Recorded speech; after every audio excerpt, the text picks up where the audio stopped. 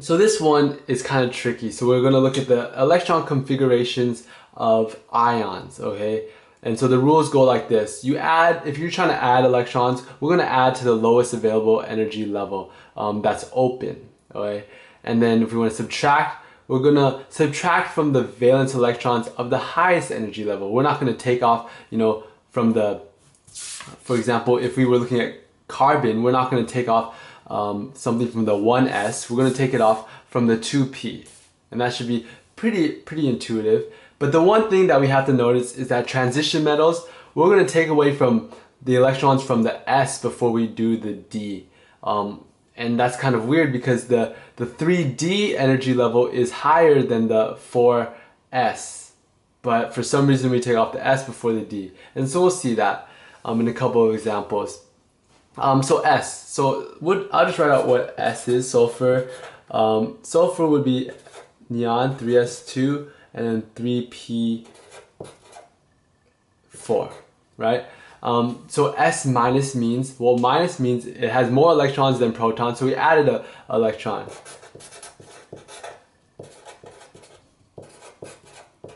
So we just added it to the highest um, energies, so the one that's available right there. Um, and S plus, when we're subtracting, right, we're want to subtract from something from the highest energy level. So that would be this one. And so just for clarification, what do I mean by add to the lowest available energy level? So for example, if we had 4S1, uh, 3D5, uh, we're want to add uh, one to there. We're going to want to add one electron to the lower energy level of 4s1 rather than 3d5. So it would be 4s2 rather than 4s1 3d6. And that's just, you know, you'll, you'll see that later. So this would be wrong. Um, but just to make it clear, because this, we actually saw that we added um, to the highest available energy level. So you probably were thinking, oh, what is he talking about adding to the lowest available energy level? And this is mainly for the transition block. And we'll see that right here. So chromium, would be 4s2 3d4 and so I kind of gave it away with the last one um, but we'll see this right here. So that was our expected but that's actually wrong.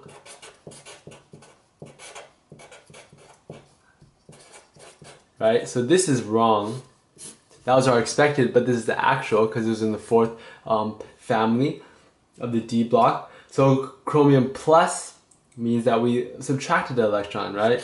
So where would we subtract the electron from? Will we subtract it? Well, we said the rule was subtract from the highest energy level. So it should subtract from here, right? Well, remember that this is a transition metal, so we want to take it off from the S before the D. Okay, so we took it off from the 4S one before we took it off from the 3D.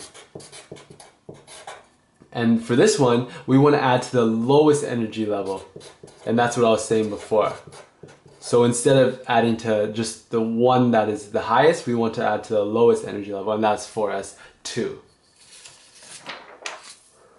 So the next thing we're going to be talking about is the Bohr model of the atom. And so what is the Bohr model of the atom? All it is is um, it's, a, it's a model that we use to show different energy levels and to show that energy is quantized.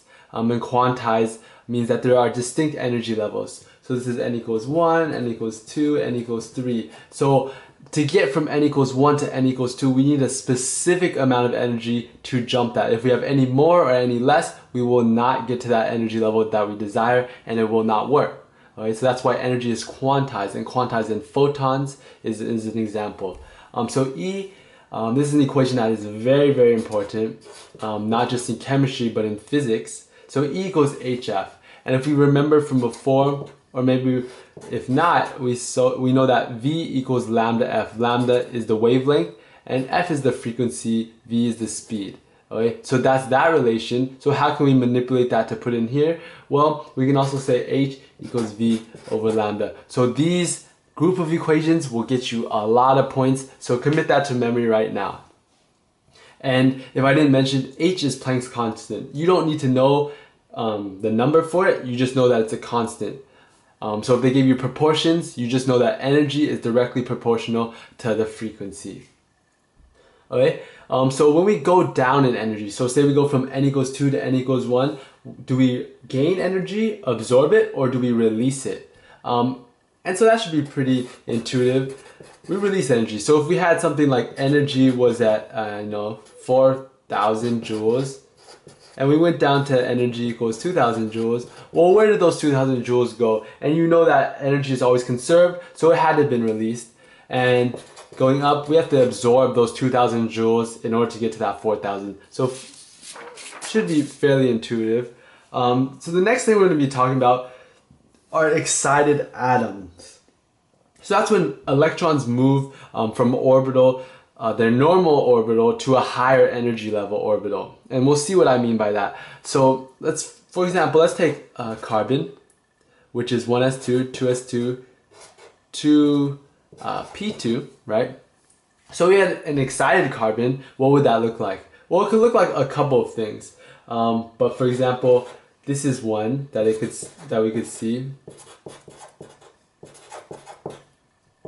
Right? So we took one electron and we moved it to an even higher energy level. We moved it all the way to the 3s, right? Another example could be, right? So we took now a 2s electron and we moved it all the way up to the 3s. But notice we never changed the number of electrons. If we count it, we have 6. We count here, we have 6 and 6 here. So the number of electrons never changes. That's one thing that you have to remember is that um, a lot of times I'll give you examples of which one is excited, which one's not, and more than likely two out of the four will show um, electrons where they just add an entire electron right here, right? That is no longer carbon. We can't say this is carbon anymore. This is actually nitrogen, okay? And it's an excited nitrogen at that, okay? So we can't say that. So this would be wrong, right? We can't just add a whole other electron and say that's excited. We have to take the existing number of electrons and move them to a higher energy level. Hey guys, remember to post any questions you would like us to answer in the next question of the day down below in the comments. Thanks for watching.